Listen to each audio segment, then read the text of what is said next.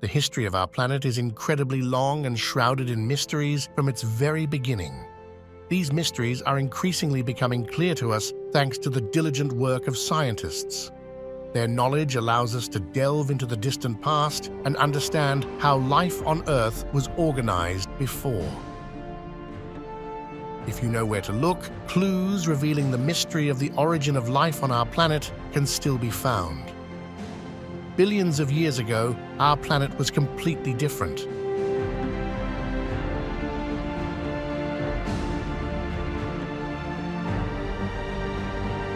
It was an empty planet where not a single bird's songs or animal's footsteps could be heard.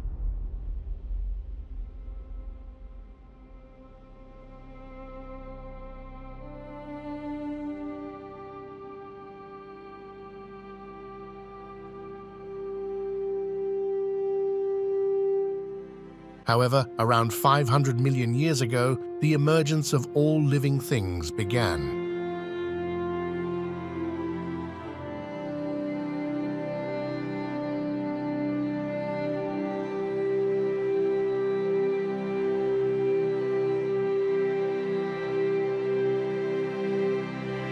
Sea creatures, which had long only inhabited the water, started to venture onto the land.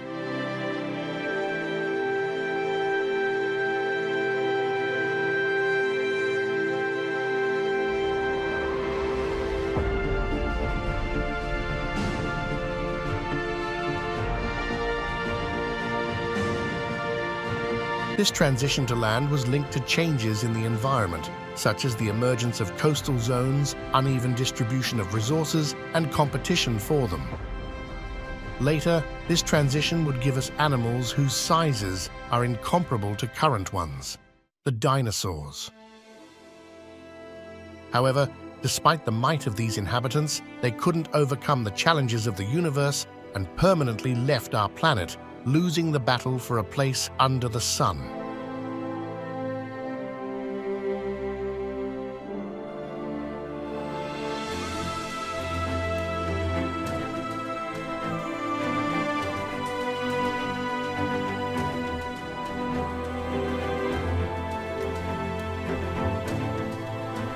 Yet, not all inhabitants of that time disappeared. Some soared so high in the sky that they managed to survive until our time. Birds.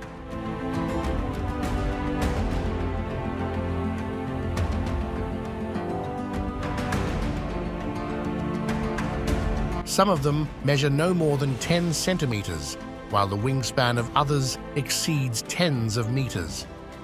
Some soar so high that they are impossible to see, while others cannot fly at all but what united them all was the struggle for survival.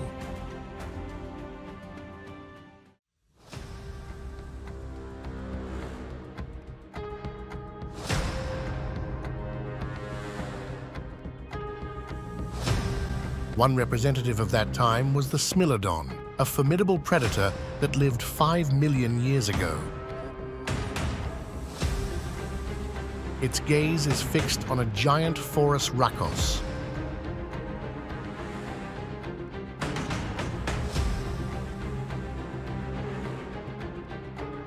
The height of this bird was two meters, but due to its atrophied wings, it couldn't fly.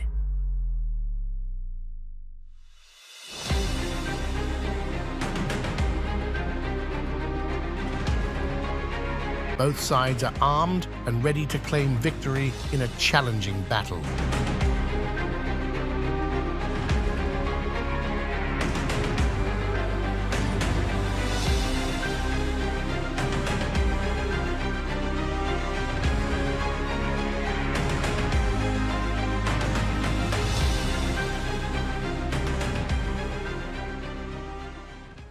In the world, there are more than 10 million species of animals and plants.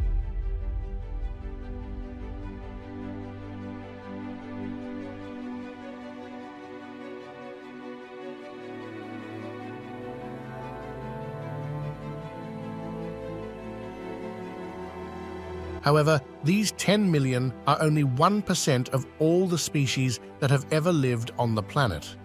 Diving into the past, we will learn about the 99% that once inhabited our planet.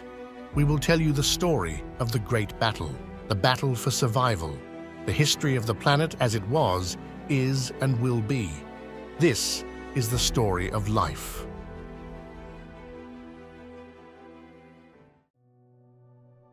Billions of years ago, everything must have had a beginning, an impulse that would later give rise to the development of all living organisms on our planet.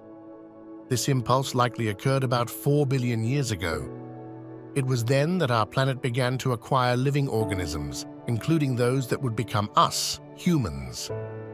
It is likely that during this period, the atmosphere, temperature, and conditions for the emergence of living organisms stabilized on our planet. Liquid water and solar energy provided living organisms with an almost ideal chemical environment for the inception of life.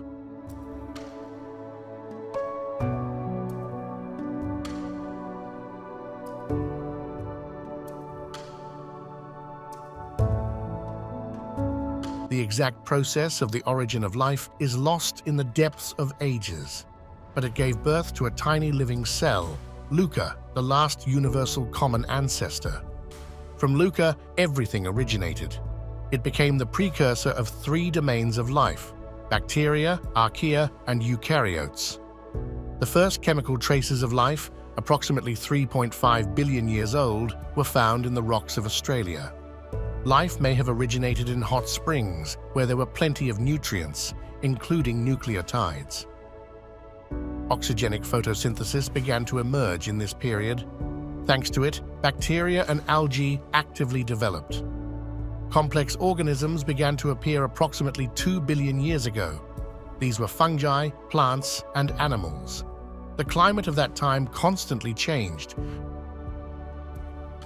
from hot and arid temperatures to prolonged glaciations when the temperature dropped to minus 40 degrees Celsius. However, even in such temperatures, life found ways to survive on the planet. Spriggina, worm-like animals that inhabited our planet billions of years ago, may be the ancestors of modern animals. It would be billions of years before the familiar animals for us appeared, but even then, it was clear that our Earth was gaining its inhabitants. These were just its first steps.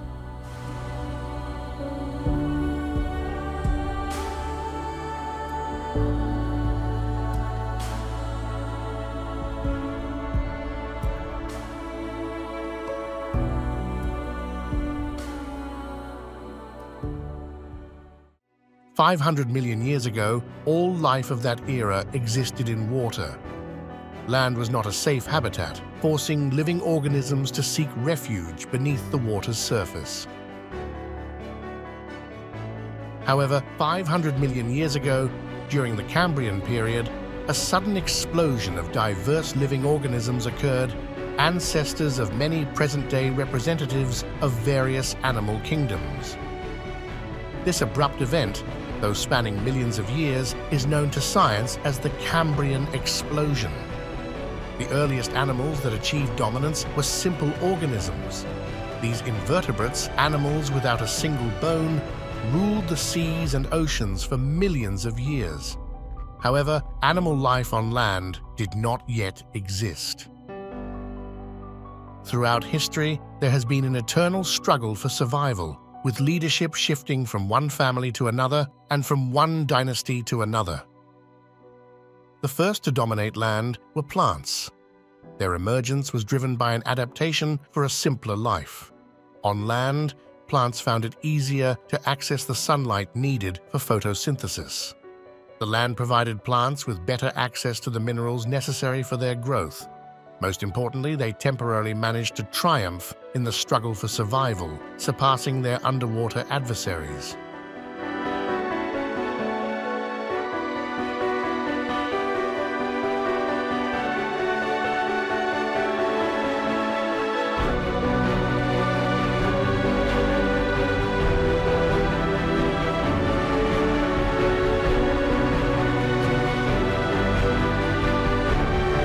Plants created conditions that gradually allowed invertebrates to strengthen and conquer the world. But the battle persisted, and invertebrates couldn't rule forever. They were surpassed by a new dynasty of animals that excelled in strength. These creatures also originated from the aquatic environment, amphibians. Their bodies were structured differently, featuring four limbs and a spine, a body structure that would later become the standard. However, they remained tied to the water. In modern times, the Chinese giant salamander holds the title of the largest amphibian. Its body length, including the tail, reaches 180 centimeters, and it weighs no more than 70 kilograms. This amphibian inhabits eastern China, exclusively living in clean and cold mountainous water bodies. Yet millions of years ago, individuals of much larger sizes roamed the earth. Amphibians gave rise to another dynasty, the reptiles. They could conquer even the driest lands, striding widely across the planet. The first force to rule the world appeared in history. From the first reptiles, the most famous dynasty emerged. Its rule lasted for 150 million years, the dinosaurs. This group truly exhibited incredible strength. They were gigantic and fearless, equipped with sharp teeth that could pierce the flesh of other creatures. They had long necks to reach leaves from the tallest trees.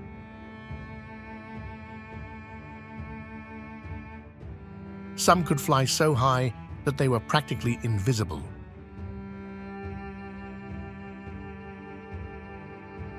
These creatures astound our minds with their diversity. However, even they couldn't adapt to changing events and permanently left our planet 66 million years ago. Their extinction was interrupted by fatal misfortune, a meteorite impact.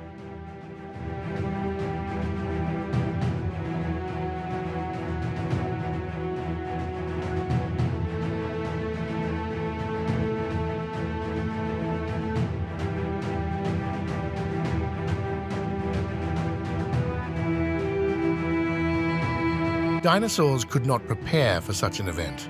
They lacked the resources to safeguard themselves.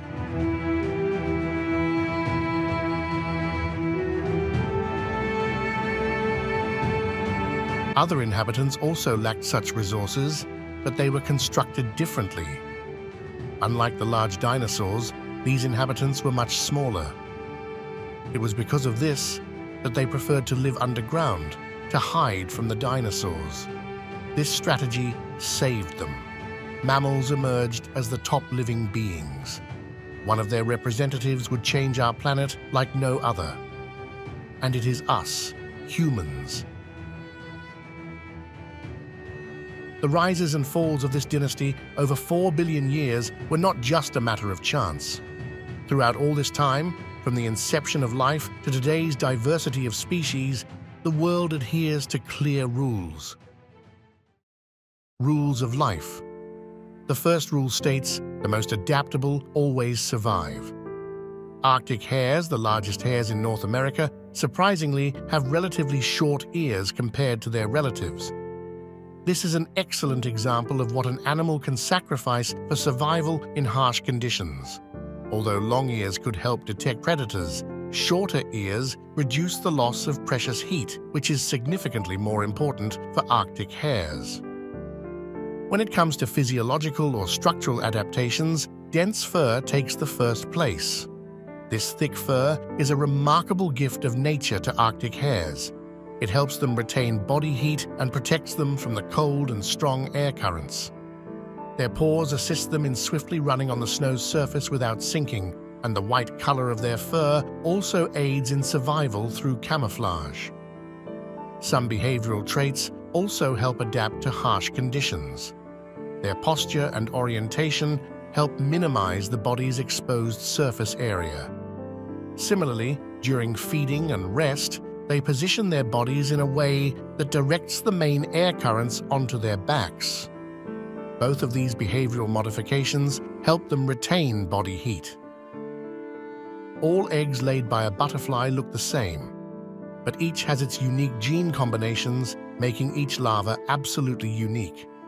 Some eggs have genes that will help them survive, and these genes will be passed down from generation to generation. Eventually, some caterpillars will be so different that they will turn into an entirely new species better adapted to the environment. This is evolution. But not only animals adapt. In the world, all living things simultaneously fight for survival, including plants. If left unattended, ants or caterpillars will devour them completely.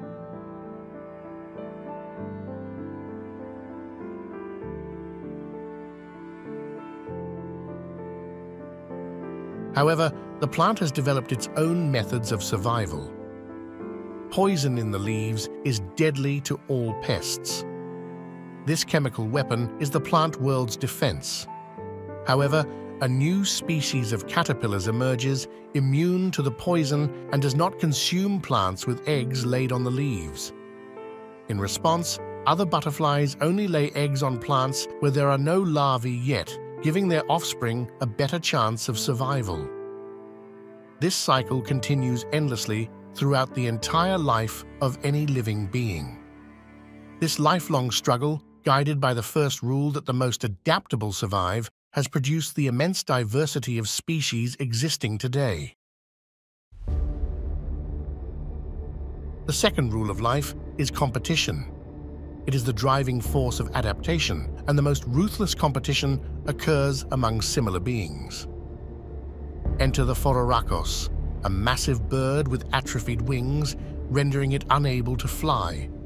The shore of this water body is its territory. However, not all inhabitants agree with this notion. Another Phororhacos also has its eye on this place. The owner is forced to react and defend its honor. A confrontation ensues. Similar to peacocks, they size each other up, evaluating strengths.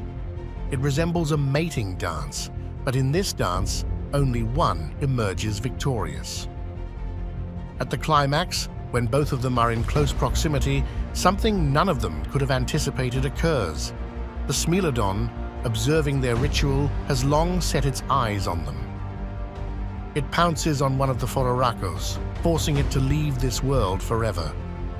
The cunning of the Smilodons from the mammalian family became one of the reasons for the extinction of Phororhacos.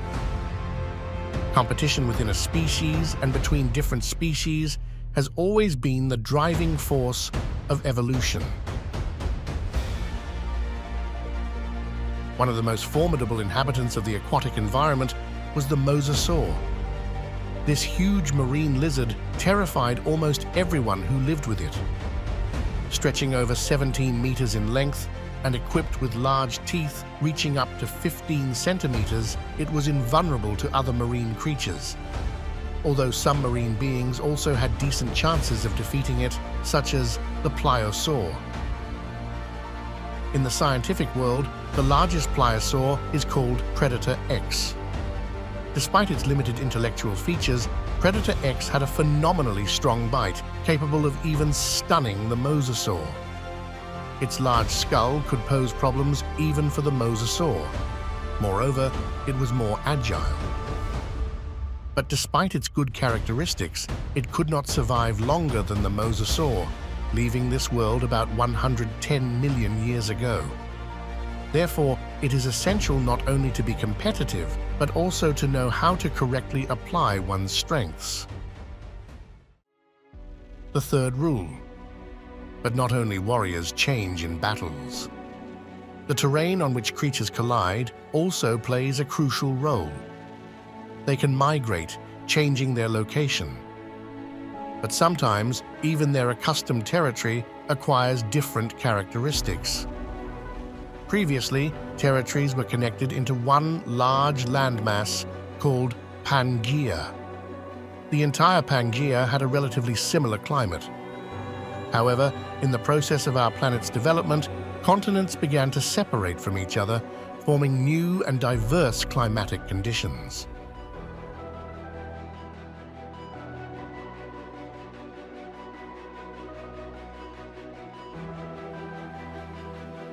This forces us to approach the third rule of life. The Earth never stays in a stable state for long. Sometimes this contributes to life, and sometimes it hinders it.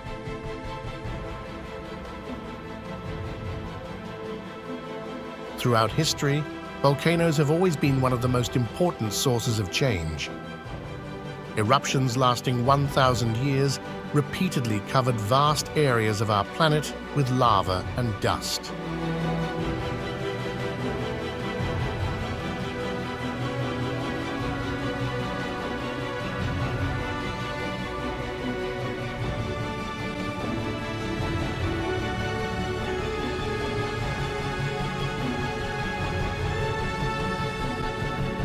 The atmosphere filled with gases, climate changed, and in the worst cases, it led to mass extinctions of species. For example, after the meteorite impact, due to large volcanic eruptions, our planet was literally engulfed in dust.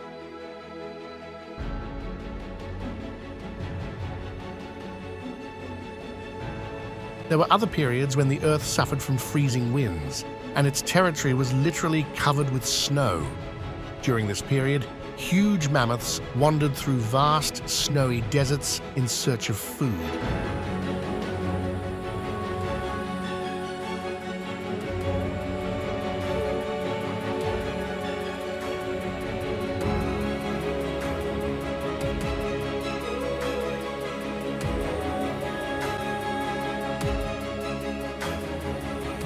The planet never stays still. Sudden changes on the planet created many obstacles for life, from toxic seas to vast wastelands and periods of endless rain. Our planet has seriously tested all living things four times in history.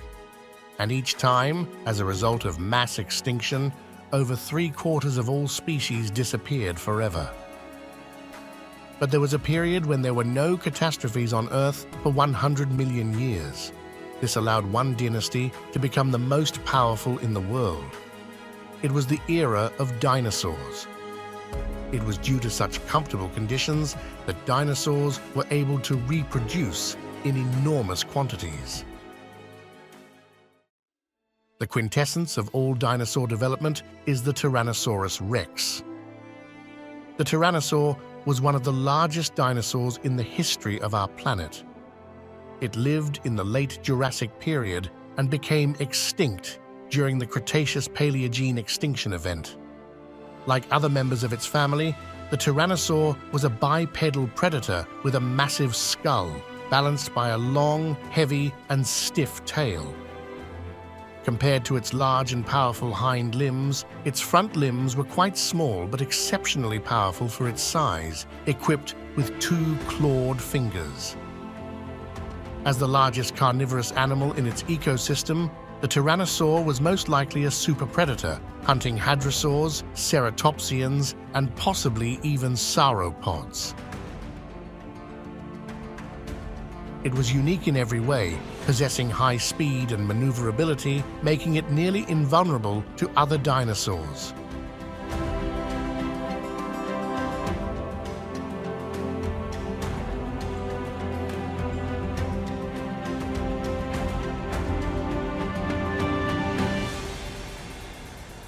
And these are maiasaurs. Unlike the tyrannosaur, they are harmless herbivores. They moved in large herds, and this method of traveling was not chosen by chance, as herds provided them with better chances of survival. In their case, quantity ensured safety, not just for adults. This female is hurrying back to her nest. Translated from Greek, Maiasaur means good mother.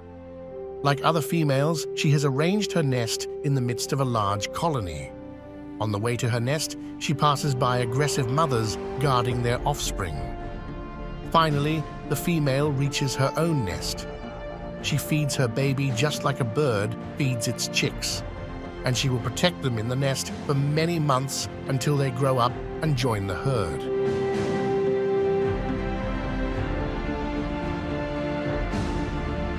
The stability of life on the planet was ensured not only by the large number, but also the immense variety of dinosaurs in all shapes and sizes.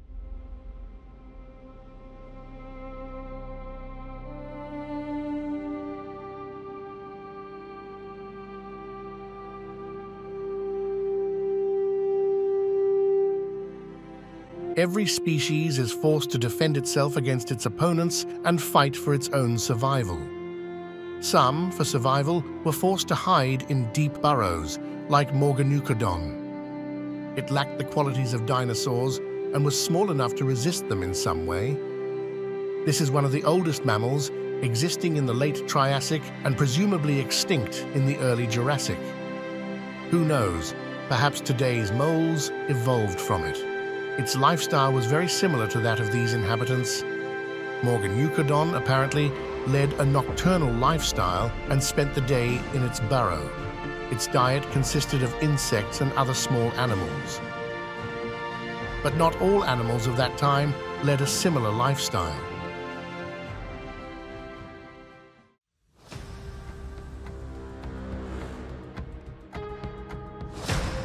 Triceratops are significantly different from the defenseless Maiasaurs and Morganucodons. This formidable dinosaur, with three horns and weighing around five tons, adapted to a world where the best defense is an attack. To be able to defend itself and its offspring, Triceratops had to eat a lot. This means eating the most nutritious food, wherever it may grow. This time, the female wandered too far from the herd and found herself on the edge of the forest. Her concerns are not in vain. In these forests, members of her kind are not the only giants. Along with her offspring, Tyrannosaurus has also come here. However, their goal is not plants, but Triceratops. The offspring are faster than their mother, but they attack together. Triceratops can fend off the young ones, but not their mother. They lack both speed and strength. Only a group of their kind can save this female. She runs back to where her relatives await her. Only together can they resist such a huge predator. And they succeed.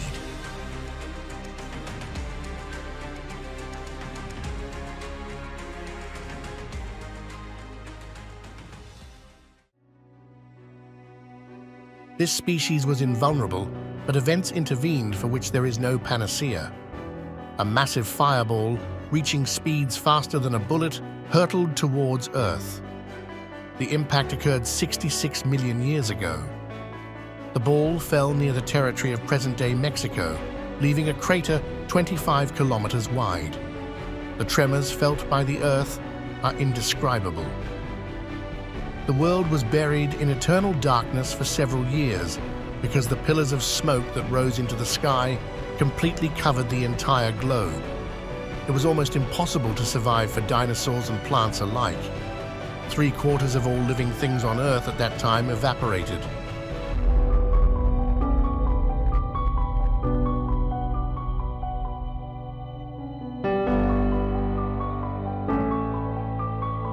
However, what is death for some is the beginning of life for others.